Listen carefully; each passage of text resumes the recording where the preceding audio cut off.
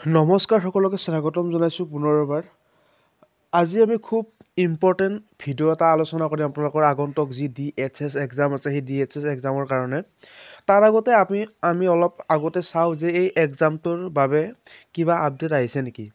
এতিয়া মই এটা ৱেবছাইটত চালোঁ যে ডি এইচ এছ হল টিকেট দুহেজাৰ twenty two out check exam centres and since director of health service is reputed organization and have owned by the government authorities thus for every points there are hundreds of the job seekers submitted application the recent dhs recruitment was for staff nurse post after closing window for a final date and department start to come compile data for DHS hall ticket.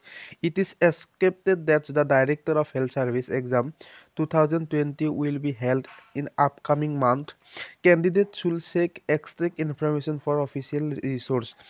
এতিয়া আজি এইটো ছয় number ছয় number ছয় ছয় নম্বৰৰ পৰা ছয় যি নৱেম্বৰত আছিলে ছয় নৱেম্বৰতে পাইছিলোঁ যে ডি এইচ এছ এক্সামৰ শেহতীয়াকৈ এইটো আপডেট যে আমাৰ এই যি পৰীক্ষা এই পৰীক্ষাটো আমাৰ যিটো নৱেম্বৰ মাহ চলি আছে এই নৱেম্বৰ মাহ লাষ্টৰ ফালে হোৱাৰ এটা সম্ভাৱনা যথেষ্ট বহুত আছে। আৰু যদিহে এই পৰীক্ষাটো নৱেম্বৰৰ লাষ্টৰ ফালেও নহয় তেতিয়াহ'লে ডিচেম্বৰ মাহৰ ফাৰ্ষ্ট বা ছেকেণ্ড সপ্তাহত আপোনাৰ পৰীক্ষাটো হোৱাটো প্ৰায় নিশ্চিত বুলিয়েই ক'ব পাৰি।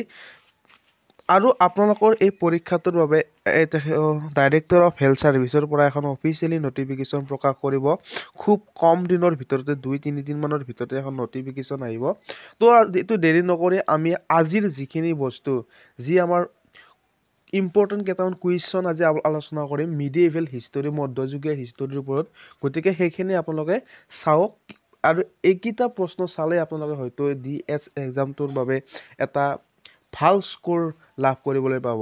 তো আহক আমি এই প্ৰশ্নখিনি চাই লওঁ। তো আজি খুব ইম্পৰ্টেণ্ট কেইটামান কুৱেশ্যন আপোনালোকৰ মাজত লৈ আহিছোঁ যি আমাৰ মধ্যযুগীয় অসম আছে মিডিভিল হিষ্টৰী বুলি কয়। সেই তাৰে কেইটামান ইম্পৰ্টেণ্ট কুৱেশ্যন আপোনালোকে চাব মই অলপ স্পীডত কৈছোঁ আৰু কিবা ভুল হ'ব পাৰে টাইপিং চাইপিঙক গতিকে এইটো আপোনাৰ ক্ষমা কৰি দিব।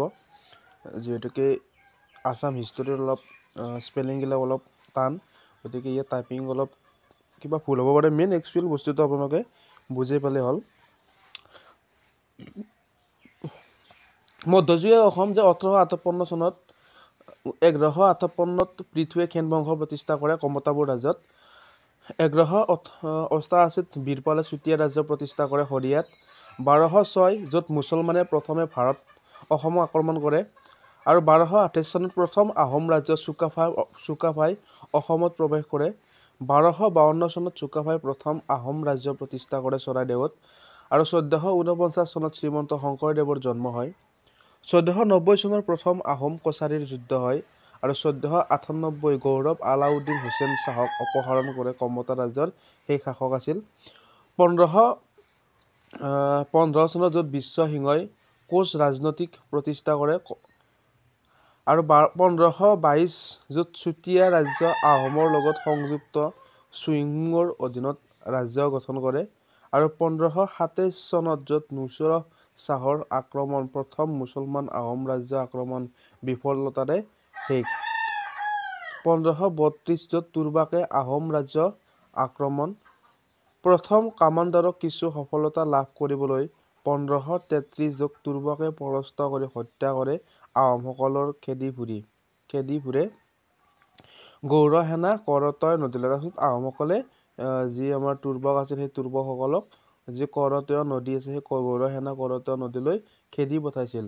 পোন্ধৰশ ছয়ত্ৰিছ চনত য'ত আহোমৰ ৰাজধানী ডিমাপুৰত ধ্বংস হয়। পোন্ধৰশ ঊনচল্লিছত আহোম ৰাজ্যই গড়গাঁৱত ৰাজধানী প্ৰতিষ্ঠা কৰে আৰু পোন্ধৰশ চল্লিছ চনত নৰনাৰায়ণৰ পিতৃৰ পিছত কমতাও ৰাজ্যৰ সিংহাসন দখল কৰে আৰু পোন্ধৰশ আঠচল্লিছ চন অসমৰ বিধ্বং বিধ্বংসী ভূমিকম্পৰ সাক্ষী। পোন্ধৰশ তেষষ্ঠিৰ তেষষ্ঠিত য'ত চিলাৰাই আহোমৰ ৰাজধানী গড়গাঁও দখল কৰে আৰু কোচ আহোমৰ সন্ধিৰ সৈতে শেষ হয় পোন্ধৰশ আঠষষ্ঠিত শ্ৰীমন্ত শংকৰদেৱৰ মৃত্যু হয় আৰু পোন্ধৰশ একাশী য'ত নৰনাৰায়ণে কমতা ৰাজ্য বিভাজন কৰে কোচবিহাৰ আৰু কোচহাজোত ৰূপান্তৰ কৰে, য'ত ৰঘুদেৱৰ দ্বাৰা শাসন কৰা হ'ব। পোন্ধৰশ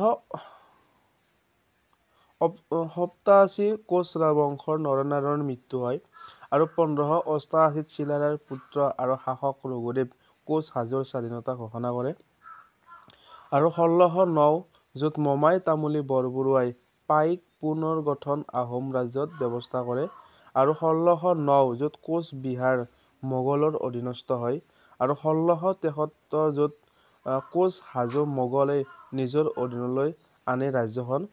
আৰু ষোল্লশ পোন্ধৰ য'ত আহোম আৰু মোগলৰ মাজত সংঘাত হয় আৰু ষোল্লশ সাতত্ৰিশ য'ত বালি নাৰায়ণৰ প্ৰাকৃতিক কাৰণত মৃত্যু হয় আৰু কোচ বিদ্ৰোহ পুনৰ মোগলৰ পতনত হয়। ষোল্লশ ঊনচল্লিশ চনত অসুৰৰ আলি চুক্তি স্বাক্ষৰিত হয় আহোম ৰাজ্য আৰু মোগল সাম্ৰাজ্যৰ লগত।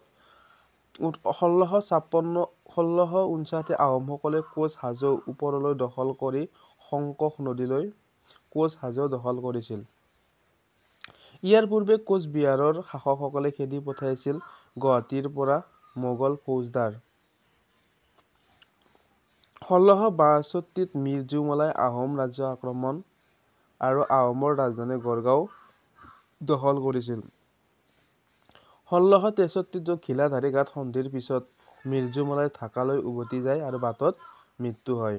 ষোল্লশ সাতষষ্ঠিত আহোমে গুৱাহাটীক মল্লযুঁজ কৰি সম্প্ৰসাৰণ কৰে আৰু মানস নদীলৈ নিয়ন্ত্ৰণ প্ৰতিৰক্ষা আৰম্ভৰ প্ৰস্তুতি কৰে।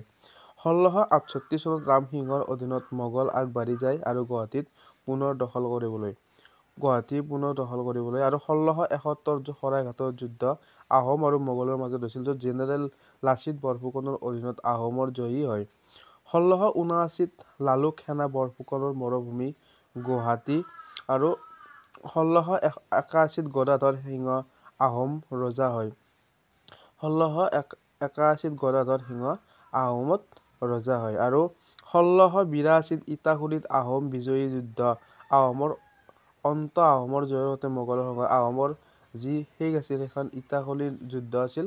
ষোল্লশ বিৰাশী চনত হৈছিল। ত' যদিহে ভাল লাগিছে অনুগ্ৰহ কৰি ভিডিঅ'টো শ্বেয়াৰ কৰি দিব ছাবস্ক্ৰাইব কৰি দিব আৰু আপোনালোকক খুব ইম্পৰ্টেণ্ট প্ৰশ্ন নটিফিকেশ্যন জব ৰিলেটেড ইয়াত আলোচনা